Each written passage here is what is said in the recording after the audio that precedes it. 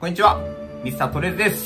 絶賛当店で今開催中のストレンジフリークデザインス20周年の新作展示会ですが、ちょっとね、この展示会自体5月から始まってたんですけど、制作がちょっと間に合わなかったものがあって、うちの展示会からちょっと発表になったアイテムがあるので、紹介したいと思います。もちろんね、他のお店でも買えるやつになりますので、ぜひこちらの店舗に問い合わせください。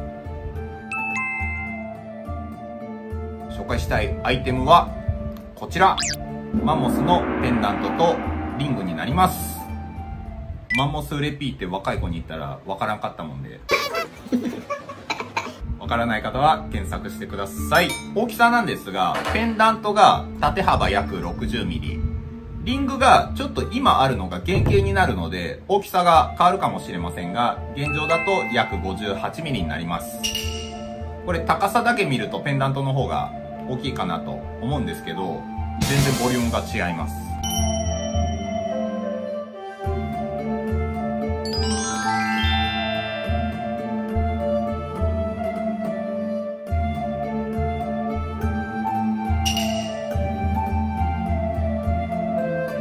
ちょっと試着したいと思います。まずはペンダントの方から。僕がつけてこんな大きさですね。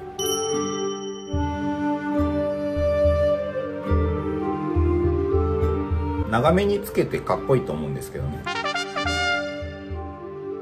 で、リングがこんな感じです。めちゃくちゃでかい。これね、つけ心地考えてあるんで、横の指当たんないです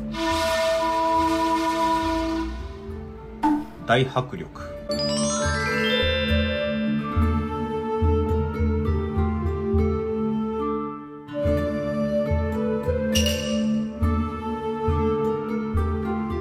ここがペンダントもリングもブラスなんですけどここがもちろんシルバー。で古谷さん独自のテクスチャーですね。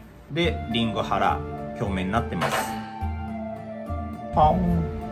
はい。というわけで展示会の未発表アイテムの紹介になるんですがこれ実は来週また1個入ってきます。あのアイテムどうなってんだろうっていうやつみんな1個あると思うんですけどちゃんと入ってきますそれもまた紹介できたらと思うのでぜひチャンネル登録グッドボタンお願いします。それではアリベデルチ。バイバーイ